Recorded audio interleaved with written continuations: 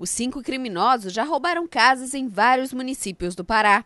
Os assaltantes se dirigiam neste veículo para o município de Moju, no nordeste do estado, quando foram interceptados pela polícia antes de entrar na cidade.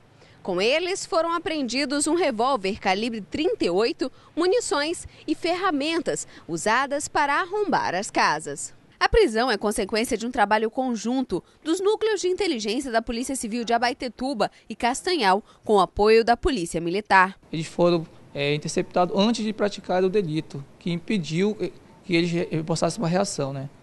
É, ou seja, nós, foi a ação planejada do Serviço de Inteligência conseguiu inibir que eles praticassem o crime. Que é, isso é uma grande vitória para o sistema de segurança pública. Né? Cada um dos presos possuía uma função na quadrilha.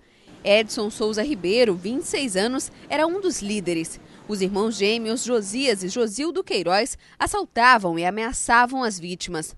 José Anderson Pampolha, o bode, era quem arrombava as casas. Ivanildo Couto foi quem informou sobre a casa que seria roubada em Moju.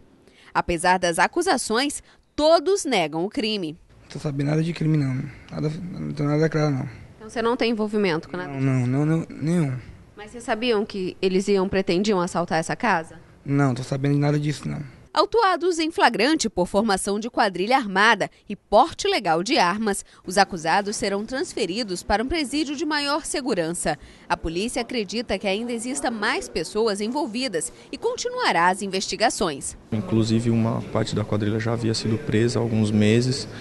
E é, na, nessa manhã, lá na cidade de Moju, uma outra parte da quadrilha foi presa. A gente acredita que ainda existam pessoas a serem presas que façam, façam parte desses crimes que vinham ocorrendo.